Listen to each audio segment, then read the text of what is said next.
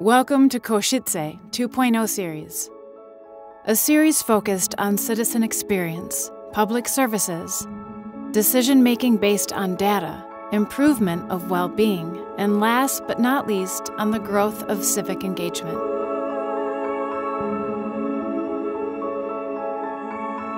On today's episode, we'll discuss how to measure citizens' well being.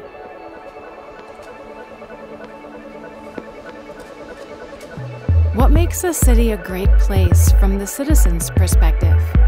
Charles Landry, a leading voice on urban change, guides us through some measures of citizens' well being. What anchorage means simply is what is familiar to me. Who do I know? My family, my friends, the wider networks, and so on. So that's the sort of people side of it. But the other side is also the built fabric which may be the heritage. And all of these things, like heritage, speaks to the past of a place and gives some people some sense of, I come from somewhere. And when cities work well, people like what they've got, or at least they acknowledge it. They might not like every aspect of their history, but at least they know this is me. First of, the idea of anchorage. Austrian architect Gabu Heindl also relates the sense of citizen well being with the idea of belonging. In particular, the value of not having existential threats when it comes to living in the city. Unfortunately, our cities at this moment are really facing a serious housing crisis, maybe also a crisis of public space. But especially when it comes to the affordance of housing, I would say that it really, um, we are really to work very hard to make sure that nobody actually feels existentially endangered, in threat of not being able to afford housing anymore, which gives an enormous pressure to people. At the end of the day, it also means um, can you afford, can you find housing that suits your needs? How do I want to live together? With whom? Not everybody wants to live in a small unit, but maybe live collectively, but doesn't find the place live in a certain place rather than another, but doesn't find housing there. So this is where, like, uh, working on the freedom of um, the right to housing is, uh, yeah, a big, t- a big task, an important one. We return to Charles Landry to discuss the importance of opportunity within our cities.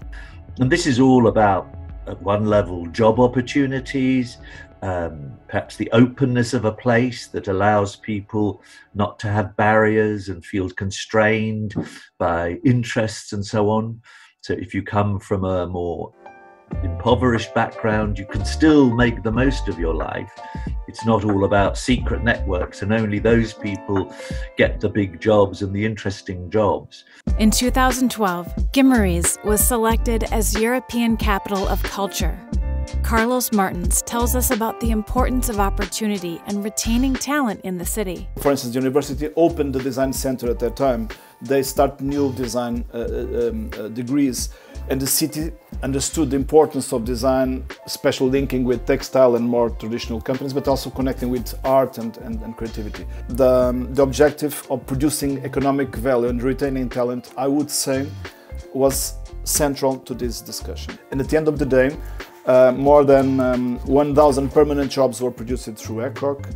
Um, the economic uh, um, turnover of the program was more than 100 million euros, and the city was different after the ECOC process and, and, keep being different every day, but especially this connection between um, uh, culture, economic system, and university, it was, I would say, redesigned. For Charles Landry, it is also equally important that cities provide a sense of inspiration. And as you know, uh, people often call museums the cathedrals of the post industrial age or art galleries.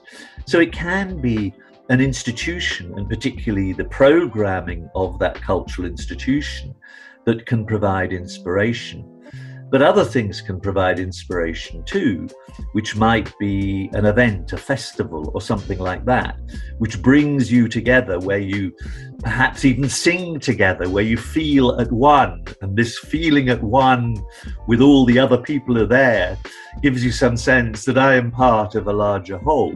During the COVID 19 pandemic, artist Daan Roosegaarde developed a project called Urban Sun, a project designed to bring well being to public spaces. Well, I think I think the well-being is a really important uh, theme, especially in a COVID time like this. I mean, it's nice that you have money on the bank, but yeah, if you can't travel eh, and if you're stuck, like, um, so uh, I think that was one of the reasons why we started Urban Sun, um, which uses a, a, special new safe far UVC light to sanitize public spaces of, of, of COVID 19 and, and other viruses. And this was a really beautiful way of indeed trying to say, hey, how can we combine art and science um, to bring well being? And it was so cool to sort of um, put that human well being central and then start thinking, okay, but so what, what, you know, I'm not, I'm not a vaccine expert. Eh? I can't design a vaccine or I'm not a virus so, but you're always trying to think, okay, what can I do as a designer, as a creator? Professor of Cultural Economics Pier Luigi Sacco gives the example of the role music had during the pandemic on generating citizens' well being. Think of what happened, for example, during the pandemic. The role that music had in uh, helping us keep our mental sanity. Not uh, incidentally, of course, there was a boom in demand of online stream music. And uh, at the same time, we know that, for example, music literally has a, a cannabinoid effect. It releases endorphins. Literally, we feel better when we listen to music. We need less opioids, for example, in a post-surgical treatment.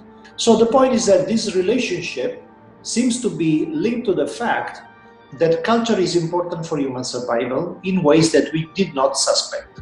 Designer and innovation specialist Michela Magas questions the frame in which we measure well being and the need to extend it to a broader spectrum of activity to capture it. Brain computer interfaces are placing us as human beings uh, some great new challenges, but also are highlighting the plasticity of the human mind and how quickly a human can adapt. Um, in our case, in our experiments, it has actually shown that in terms of health and well being, we actually need to reframe our notion of ability in the context of these new systems. Because what we have found is that people who were previously uh, categorized as disabled in the mechanical era because of the tools that they had available to them are now, in the era of brain computer interfaces, far more talented uh, than the rest of us. Now, this is a huge shift in paradigm and perception and highlights some of the issues with categorizing people, um, placing people into categories which inherently creates bias. The moment you create a category, that means that you create bias. And we really question as a result our mental models, our mental models about how we manage um, uh, our relationship with technology as humans, how we manage our relationship as humans with uh, our environment and our ecosystems, all of that really affects ultimately our health and well being. According to what we've heard, the creativity has an impact on many different levels. It has an influence on the society, psychology, economical value, innovations. But for what's more important, it's essential to discuss the policies that are dealing with the issues of citizens' engagement housing, or people's bond with a specific place. We will be following this in the next episode and discuss how data can better inform policies.